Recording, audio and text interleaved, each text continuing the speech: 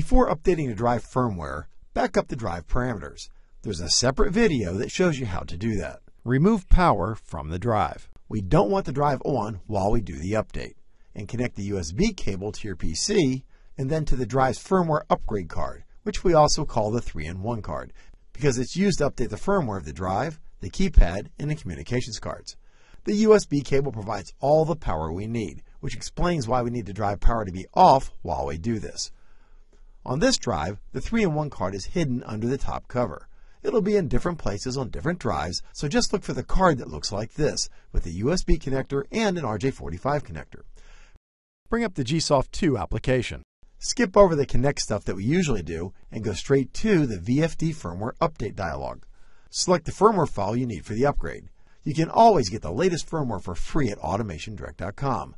Downloads, firmware.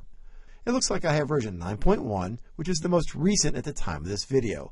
But this is pre-release, so don't be surprised if yours is something completely different like 1.0 or something like that.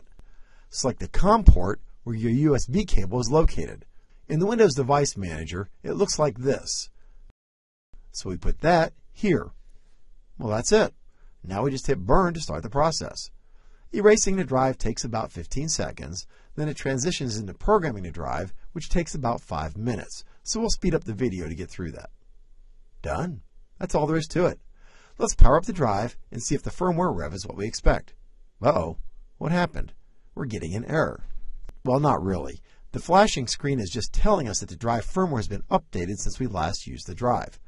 Just hit the stop button to acknowledge it.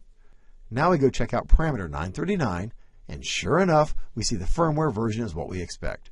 Perfect. You can now restore any parameters you saved back to the drive. Again, see this video on how to do that. Click here to learn more about the GS4 drive.